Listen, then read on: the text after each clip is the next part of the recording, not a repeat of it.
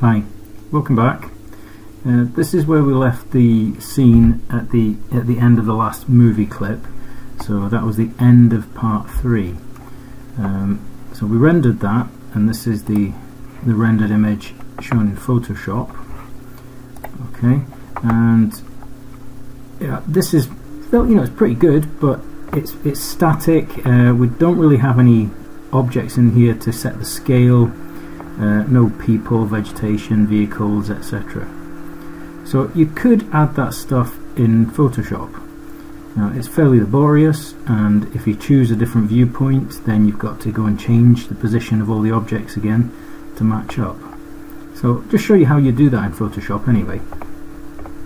So what we do first is kind of lift the lift the image off the uh, the page. So we've rendered it with the ART renderer in 3D Studio and what that does in your channels area it will create an alpha channel. Okay so if I click on alpha 1 you can see you know there's, a, there's an actual gap between the parts of the building. But here we've got glass we're looking through glass and then over the wall that runs around the back. So you can see the transparency is maintained in the in the, the alpha channel. So that's going through two layers of glass there. That's why it's medium grey.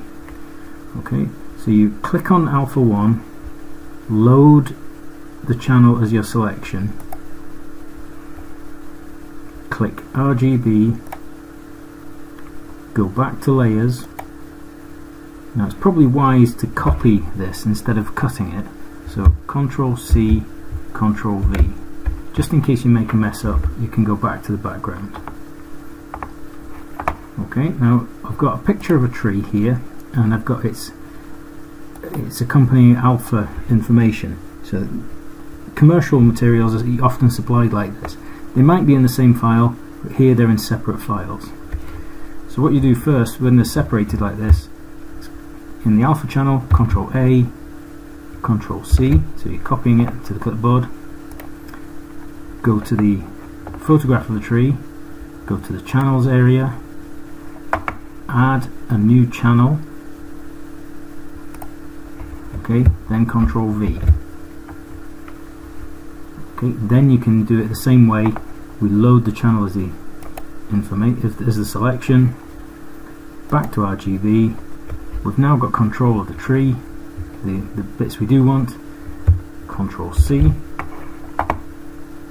go to the render now. Control V. Okay check your layers.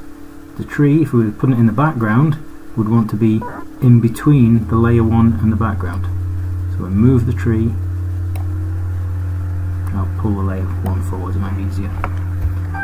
Okay and you can see there whoops moved the wrong one. Go back to where you were. Okay to layer 2 and we've got a massive tree here. You know, to scale that might be about right. Okay, it's probably a bit too big there, so we would scale that down, edit, transform, scale, and you hold shift and drag a corner, and we can see the tree getting smaller. You know, you're looking for the for the the ground line. Okay, so the trunk, the base of the tree wants to be effectively kind of halfway up the image. So it wants to be on the ground line. Okay, so keep keep the tree on the ground line. Okay, let's move it over here maybe. You can see it go behind the glass in that position. Okay, we've got a base here on the model that's causing problems. We'd have to try and cut that through to, to see the tree. That's okay for stuff in the background, but when it's in the foreground or when it's right in the middle of the model, it's much trickier. You know, a person would cast shadows, but there'd also be a reflection. There'd be a reflection in the water. It's, it's a lot more work. So adding props to 3D Studio makes more sense. It might not look as realistic, but if you're intending to use multiple viewpoints, it certainly is quicker. So I'll close 3D Photoshop there not bother saving any changes. Should should have 3D Studio behind. Okay, so let's bring in a few props here. Now remember you need to tell 3D Studio where to find the images. So if the bits you're going to add are in different folders, then remember to customize, configure user paths, external files, add, and tell it where the other materials are. And that's what I've done here. I've added another folder that's got more images in. Okay, so we'll bring in the, the, the examples that we've, we've got prepared in our maps folder. And that's a couple of types of tree. One is a, is a mapped tree where it's basically paper thin and the other is a full kind of modelled tree which will add a lot more to the to the size of our model but it will be more realistic and movable. Okay, so to bring something into 3D Studio that's already a 3D Studio file, you go to the number 3, import, merge. Okay, I'm taking it from this ART folder. Uh, so we've got a sculpture first, we've got the sculpture of the, of the female that goes in the reflection pool. Click open, pick the name of the object inside the file, otherwise you'll bring in nothing. OK. Now that model knew where it was going. Okay, you can see the sculpture has arrived. If I turn the this view round, I can see the sculpture in the back there. Okay, if I want to get a material from an object that I brought in, that's quite easy. Okay, so if I want to change the material on the sculpture, the materials editor, just let it settle down, a couple of seconds. Okay, let's let's replace this material with a material from the scene. So you get material. We look to the scene tab there's the material here, pool sculpture, double click and that's the material I can use it elsewhere if I want to. Okay, so what if we bring the items in and they aren't in the right place? Okay, so we number three, import, merge, and let's bring in the tree mapped. So this is a very simple piece of paper effectively with a picture of a tree. Okay, tree opacity mapped 01 and OK. And that has arrived here. I can see the, the object just there. If I zoom out, he's here. Zoom out here, there's my tree. And you notice it's transparent. Okay, the, the picture of the tree is solid, but the area around the tree is transparent and that's called opacity mapping. Let's have a look at the material so you can see how that's done. Let's get another material from the scene. Okay, and look for it in the list. Okay, because I've got the object selected, it's easy to pick find its material. The red tag here indicates that that material is visible in the, on the model.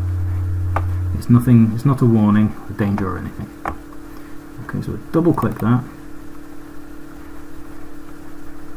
Okay, I'll change this to a cube instead, so you can see what's happening here.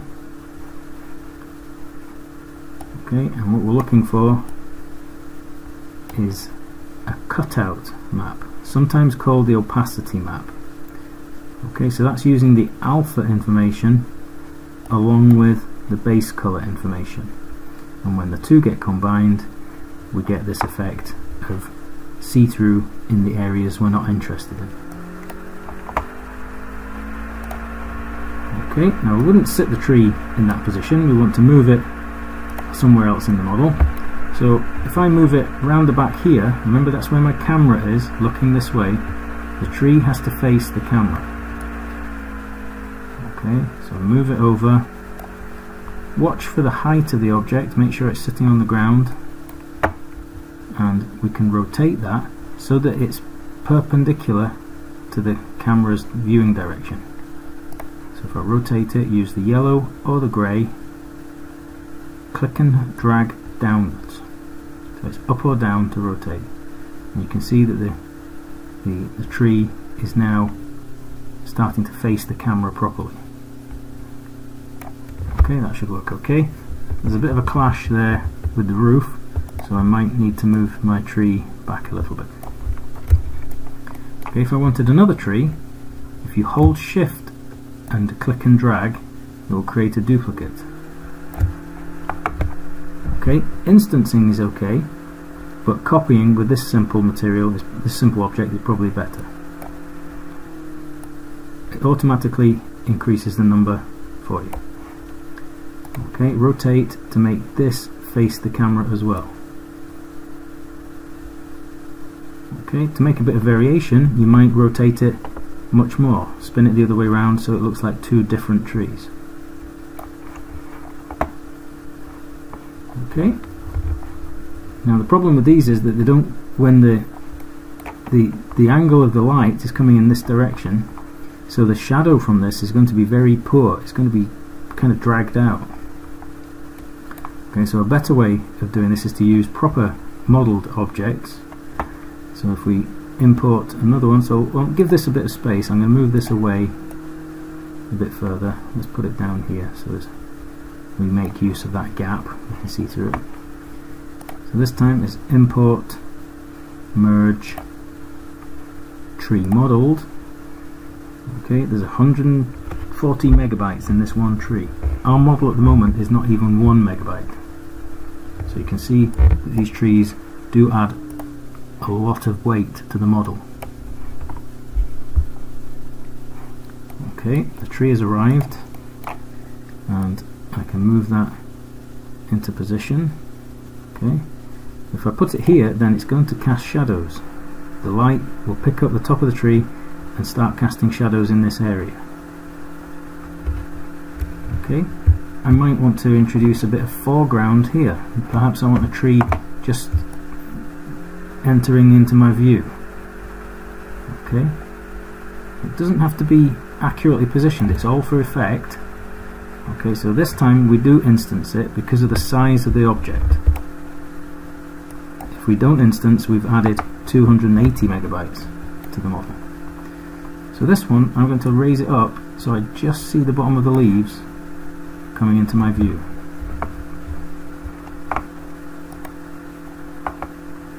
Okay. Now what we could also do here is add in a lot of other props that I've got ready to go. So import, merge, and I'm just going to go to a different folder for these.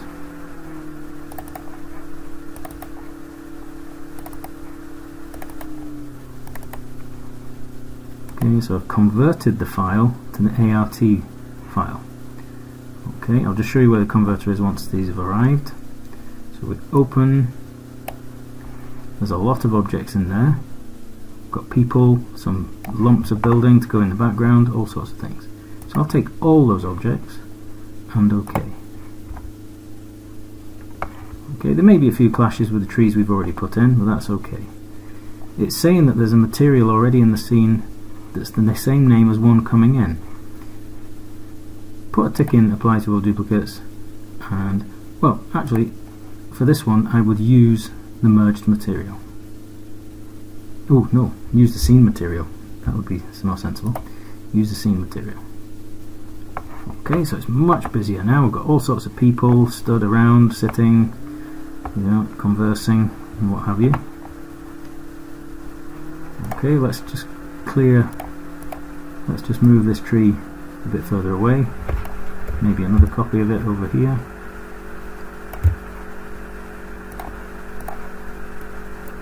Okay down here.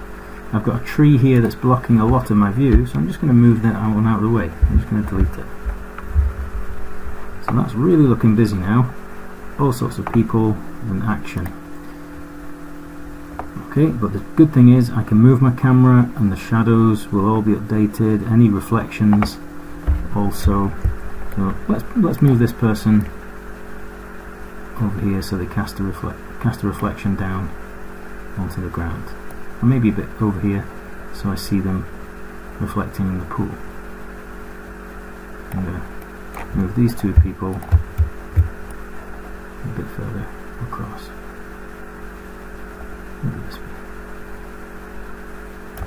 Okay, so we'll hit render now and see what we get with that and I'll pick up the render at the end and let you see the, the finished article. So I want to change the name of the render. So I'm going to rename it to final cam 1 TIFF file again okay. Just check that it's going to save the the alpha information. Sometimes it uh, doesn't so I just clicked here check setup. Yeah it's going to store the alpha information. Okay it's just doing a backup now. You see the spinning disk? We've got a big file now so it's doing a backup. Might be wise to save the file properly at this stage anyway. So I'm going to save this as file end part 4 so save as save as and this will be end part 4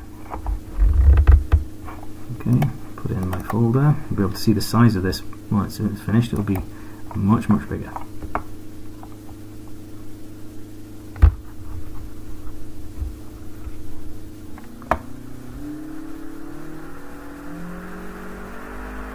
saving is taking a long time. Okay so render production.